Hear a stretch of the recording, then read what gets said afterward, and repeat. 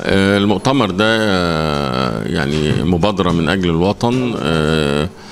تم بدعوة من الجبهة الشعبية لمقاومة أو مناهضة أخوانة الدولة في مصر وجريدة الفجر وبمشاركة الحزب الاشتراكي المصري لإطلاق دعوة من أجل تشكيل لجنة مختصة بمتابعة كل الإجراءات التي اتخذتها حكومات آه، الإخوان بدءا من حكومة عصام شرف وحكومة آه، هشام أنديل وفي فترة رئاسة محمد مرسي كافة القرارات والقوانين والإجراءات والمعاهدات التي تمت والاتفاقات الدولية آه، لأنه هذه هذه الفترة شهدت محاولة اختراق جماعة الإخوان لجهاز الدولة تحت ستار الأخوانة والتمكين.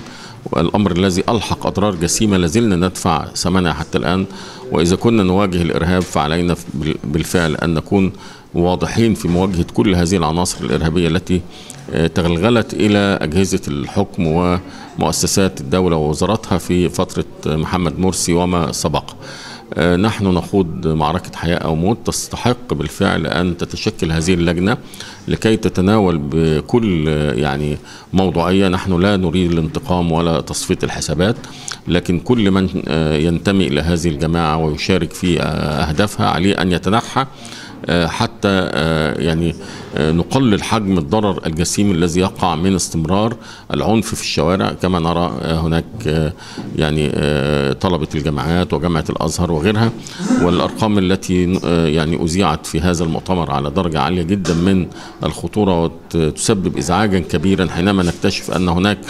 المئات من آه، أساتذة الجامعة والمسؤولين فيها ينتموا إلى هذه الجماعة الإرهابية التي تروع الشعب المصري وتسفك دماء الأبرياء منه. فهذه الدعوة نتوجه بها إلى الرأي العام للانتباه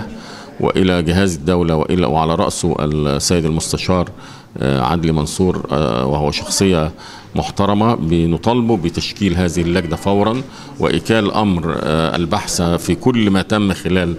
فترة حكم جماعة الإخوان المسلمين ومحمد مرسي إليها حتى نتخلص من هذا الوباء